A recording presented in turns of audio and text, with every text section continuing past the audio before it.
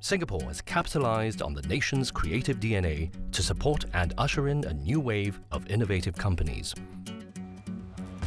We are focused on solving some of the urban challenges, particularly solutions in smart cities as well as health tech. Medical technology is a $350 billion global industry, one that thrives on the latest ideas. Start alignment.